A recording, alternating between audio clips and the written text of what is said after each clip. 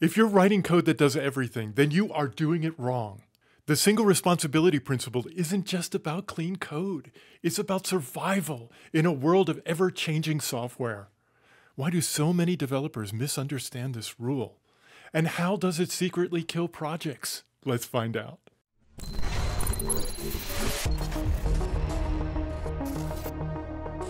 Here's the problem. Most developers think the single responsibility principle means keep code small. But it's way more than that. What if you thought you were following it, but you weren't actually following it? This is what I see a lot of developers get stuck on. They break up classes and they arbitrarily divide things, which is crazy. That's not how the world works. So the single responsibility principle isn't about chopping up classes and making them small. It's about making them cohesive, making them do a single purpose, no more and no less. That is a skill, actually, to be able to see what that level of abstraction is and what that small purpose is. Okay, let's break down some concepts in the single responsibility principle. What is a single responsibility? Well, in simple terms, SRP states that a class should have only one responsibility, not many. Now, this is much in contrast to what I hear some developers say to me. They, and, and actually, where I was a, a long time ago, but I can still remember very clearly, I said, I want to have everything in front of me, right? I want to have it all there so I can see it and I can work with it and change it as needed. But the problem is when I put all of my process every step, everything that I need to do in one place, in one method, then I've also coupled all of those steps together. And when I have to make any change to any one of those steps, I have to muck about in this one place where all of them are together, which could very likely cause side effects. And because of that, it's dangerous. One of the most important things in object oriented programming is encapsulation. And that's what putting things in separate methods and in separate classes give us.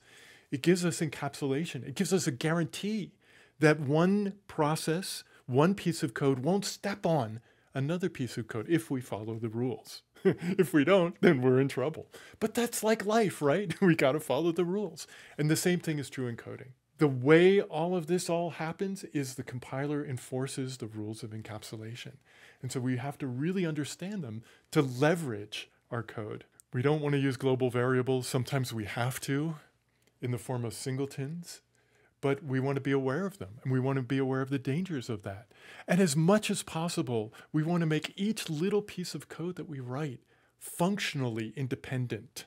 And this is a another perspective on code that I think is super valuable is that the functions that we write, the methods, the classes, not only perform in the context of the program that we're building, but also have to perform have to perform independently.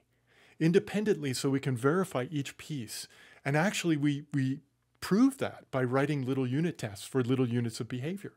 And, and when we do this, what we're doing is we're breaking up the big monolith and we're making little bits of functionality that can change independently. And that's really valuable.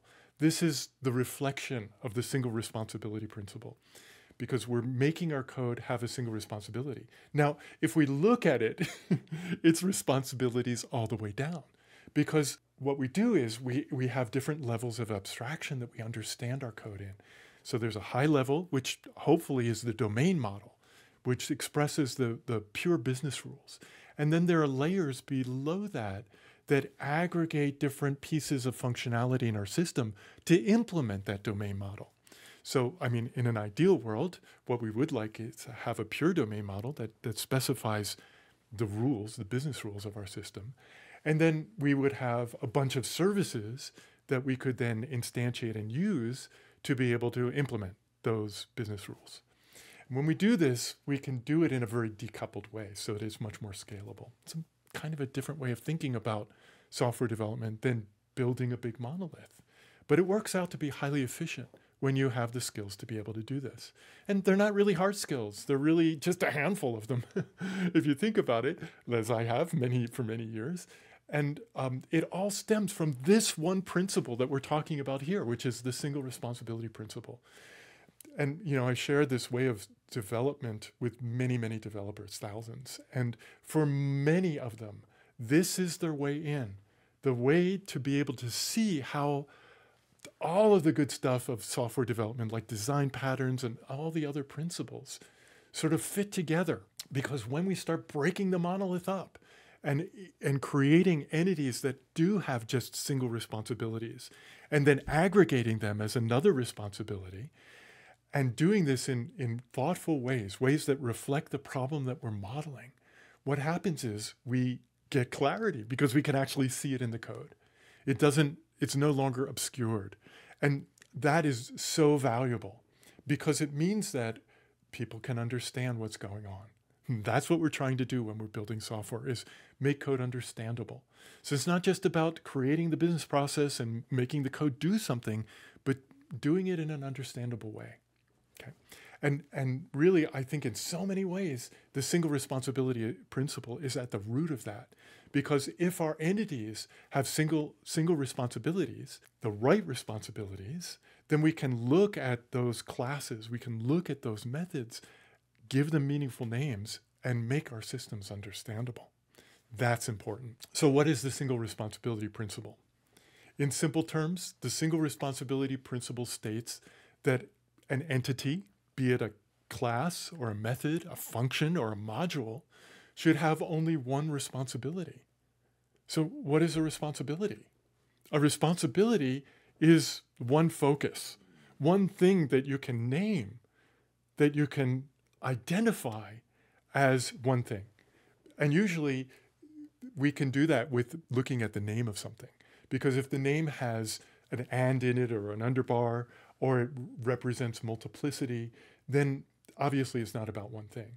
And there are times that the, there are like aggregators, right? That's you know, an entity that aggregates or manages a bunch of uh, maybe users or, or logins or whatever. So it's, but it's still about one thing. Even though it's we ha- it's managing multiple users, it's the manager of users, right? So we think about things at different levels of abstraction when we think about one thing, one responsibility. That's why I say its responsibility is all the way down. When we build systems this way, it helps us organize because this is the nature of information. Information is data organized, and that's what we're doing is we're organizing information. And we're organizing our processes around what we're doing. That's what the single responsibility principle says to me. Imagine you're at a restaurant and the chef is also the waiter and the host and the dishwasher. It's pretty inefficient.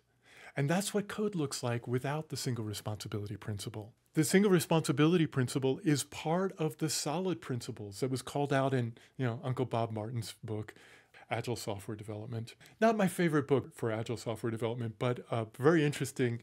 And I think he and Michael Feathers and some of the other ThoughtWorks people apparently came up with that acronym, which I think is quite clever. Uh, it's a five letter acronym that represents the five key principles in software development. The first two, I think, are the most important. The S stands for what we're talking about here, which is the single responsibility principle. The O stands for the open close principle, and that is also a vital principle. I have a video on that right here, and I it would encourage you to look at that too, because the S and the O are the most important of the solid principles. The L stands for the, the Liskov substitution principle, underscoring the importance of abstractions and creating shallow inheritance hierarchies. The interface segregation principle is the I, and that is to create interfaces, method signatures, or, or ways of calling our behaviors that are in alignment with the caller itself. And, and that really is this, the last principle as well, the, the dependency inversion principle. Think think of it from your caller's perspective. Now, I know that other people have different interpretations of these principles. So, why does software development get the single responsibility principle wrong? Many developers think of the single responsibility principle as splitting classes into tiny bits, like microclasses. But that isn't at all what the single responsibility principle says. It's not about size, it's about focus. A class that has hundreds of lines of code but still, one focus may still follow the single responsibility principle. Again, it's not about size, but it's about the single responsibility. Doing one thing well. Let's look at a real world scenario where the single responsibility is misunderstood. Perhaps developers create three classes that all touch a user login, data validation, and error logging. These are three distinct jobs that is mashed up into one thing. When they're mashed up in one thing, we can't test them independently. We can't use them independently. So maybe we want to use the validation or the error logging somewhere else, but we can't because they're all part of a single thing. And from the outside world, there is no difference between all those three things. They're all one thing. And because of that, it makes it very, very difficult to reason about and work through. So, why does the single responsibility principle really matter in the real world? Because it impacts code's maintainability, its scalability, and the flexibility to be able to make changes to the code. This is critical for business, right? These are the limiting factors very often in businesses' ability to respond to change and be able to take advantage of new processes. The limiting factor in all industry is almost always software, oh, unless there's hardware to, hardware involved, and then it's software and hardware, and then it's also the communication between the software and hardware. Um, but for most business processes in IT, it really is software that is the thing that is the limiting factor. So when we can make software that's flexible, that can respond to business needs, it directly impacts the business's bottom line and that makes the bosses happy. Using the single responsibility principle leads to fewer bugs. It leads to more maintainable and more understandable code. Code written with the single responsibility principle leads to more correct coupling and makes future changes far easier and more straightforward for developers. Let's take a simple example. Imagine you're building a system that handles customer orders. At first glance, you might want one class to handle order placement, email notifications, and payment processing. But if one of these functionalities change, you'll have to rewrite the whole class. That's a ticking time bomb. So what do we do? We break down the example. Split the classes into smaller focused classes, an order service class, a notification service class, and a payment processor. In a year, when the payment gateway changes, you'll only need to modify the payment processor, leaving everything else intact. Scale that up to dozens or hundreds of times, and you have some very significant differences in workflow. Let's talk about the benefits of the single responsibility principle in software development. And here's why Agile and the single responsibility principle are best friends. In Agile, we're constantly adapting and creating iterations that build on our previous work. The single responsibility principle allows for quick and safe changes without the fear of causing a domino effect across a system. This is critically important when we're building software iteratively. So the single responsibility principle merges perfectly with the notion of iterative development because when every one of our entities follows the single responsibility principle and we name our entities well, we can trust them. We can create them and then move on and use them knowing that they do what they're supposed to do having this level of trust for each of our components, and for a lot of developers, I think this is a new concept, but it really does transform the way we think about our code and how we build our code. We can do this if we allow our compilers to enforce encapsulation. We can trust our systems. We can build software in a deterministic way. And that's what we want to do. The single responsibility principle also means that we can build good unit tests for the responsibility that we're creating. It keeps the focus on the outcome that we want to create rather than our process or rather than how we implement those outcomes. And this again is really important for building well encapsulated systems. The single responsibility principle has us focus on building code that is clean, that has good code quality, that is understandable. And these are the things that lead us to understanding and coming up with good designs. When we build messes and we create code that is not expressive, when we use poor names and chop things up arbitrarily, it's very hard to understand what's going on. I mean, the computer can execute it, maybe, if it does the right thing, but it's not understandable to people. And as a result, it's very hard to work with. It becomes incredibly expensive. I've seen code that is, you wouldn't call it worth millions of dollars, costs millions of dollars. It costs millions to make, and then it costs more to, to much more to actually modify because it's so dense and hard to work with. We don't want to leave messes. It's not part of our job. And the single responsibility principle really teaches us how to build code that is not messy, that is good. Oh, and by the way, if you found this video helpful, please hit the like button. That will send the vibes to the YouTube algorithm and it will be able to share this video with many other people. So please hit the like button. Okay, so here's the kicker. When you start implementing the single responsibility principle properly, everything else falls into place. Your code becomes easier to maintain, easier to scale, and easier to understand. It's more straightforward to adopt changing requirements. And that is so valuable. And the best part, you'll stop fearing change because the single responsibility principle, when you do it well and you do it throughout your code base, gives you the ability to future proof your code. And that is a huge statement, but it is true. When you build software well, you find that it's really hard to come up with requirements that break your code. Yes, you have to modify it, but it doesn't completely destroy your design. And that's very, very important because there's a huge investment in design. And we will also want to be able to learn how to modify designs. And when we build with the single responsibility principle, it, it reveals all of that. It kind of reveals the truth hidden in the mess of our code. So think about using the single responsibility principle.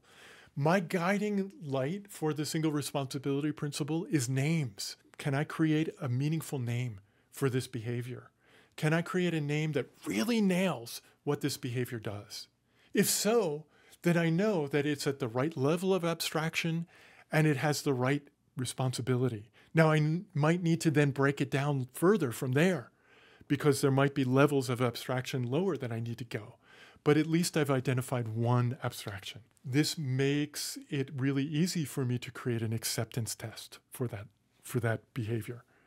And then I know I'm on the right track. Okay, so the single responsibility principle, it is not just a theory, and it's often the difference between a successful project and a nightmare. I think of it as one of the two most important principles. But what if you're already deep into a code base and you find that it has not been using the single responsibility principle?